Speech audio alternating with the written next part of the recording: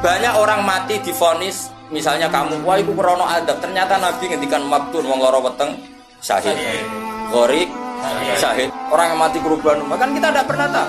Ya sudah bodoh-bodoh tidak pernah tahu pakai yang husnul khotimah saja, pakai yang husnudon saja. Ono hafid kok mati umay rubo. Milih sing husnudon lah berarti syahid. Jangan terus ono wah kena adab ya. Sesuai oleh ngedol Quran lu ngawur. Oh, tak lawan. Sing ngomong-ngomong lawan. Siap lawan. Siap ya? Ya bola ISIS ya. Kita asli nih, maksudnya hobinya itu tak. Hobinya itu tak ada. Jadi, nak dijak ngomong damai itu dingin. Yo, pancen yo lucu, nak wong brewokan terus gak garang.